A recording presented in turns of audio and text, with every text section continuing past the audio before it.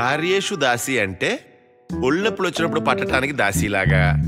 కరణేషు మంత్రి అంటే పక్కనే ఐడియాస్ ఇవ్వడానికి మంత్రిలాగా. సైనేషు రంభ అంటే పడగదిలో రంభలాగా. ఈ అన్ని క్వాలిటీస్ ఒక్క అమ్మాయిలో ఉండవు కాబట్టి నేను డివైడ్ చేసుకున్నాను.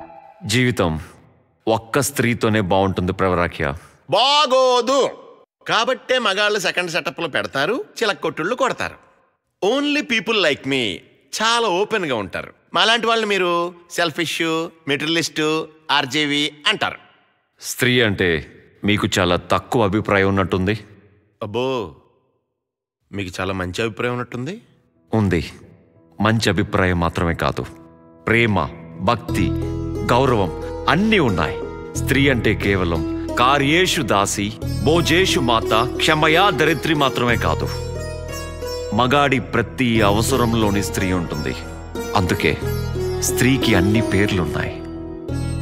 పుట్టుకతో జనని చదువుకి సరస్వతి పలుకులకి వాణి నడవడానికి దాత్రి ధనానికి లక్ష్మి తిండికి అన్నపూర్ణ జ్ఞానానికి శారద రాత్రి వెన్నెల తెల్లవారితే ప్రత్యూష మధ్యాహ్నం అపర్ణ సాయంత్రం సమీర ఆపై సంధ్య. వేసవికాలం వసంత వర్షాకాలం మేఘన శీతాకాలం హేమంత. నిద్రపోతే స్వప్న మెలకు వస్తే స్పందన పూజిస్తే వందన ప్రేమిస్తే మోహన.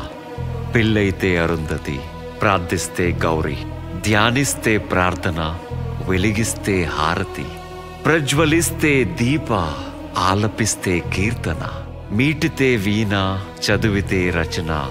చెక్కితే శిల్ప చేస్తే శృతి వింటే సంగీత. బాల్యం నమ్రత యవ్వనం ప్రేమ వృద్ధాప్యం కరుణ. గెలిస్తే కేతన ఓడితే స్వాంతన. జీవితమంతా మమత ఊపిరాగాక శాంతి.